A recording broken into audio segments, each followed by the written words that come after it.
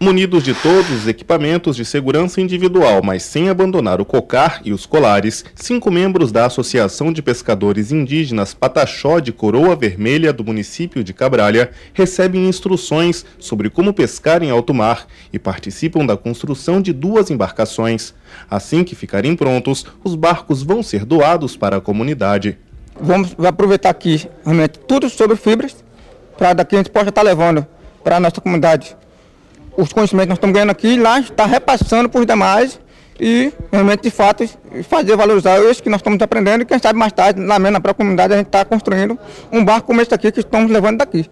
Toda embarcação que está sendo cedida para isso está sendo com, com um motor de, de, de, centro, no caso um BT-33, e vem a parte de, de, de, navegação, que é rádio, sonda, GPS, carta náutica, e toda a parte de, de aviamento para que também está sendo cedida para eles. Os trabalhos são realizados no estaleiro em Camaçari. O investimento total é do Estado e orçado em 400 mil reais. Além da comunidade indígena de Cabralha, a colônia de pescadores Z1 de Salvador, a mais antiga do país, também vai ser contemplada. A pescadora Alessandra Fernandes, desde criança, acompanhava o pai nas pescarias. Dandinha, como é conhecida, participa da construção do próprio barco. A embarcação que a gente usava era de madeira, não tinha muita muito estrutura. Né? Secretaria de Desenvolvimento Social e Combate à Pobreza, ela é uma secretaria que trabalha com comunidades tradicionais. Entre elas estão os índios.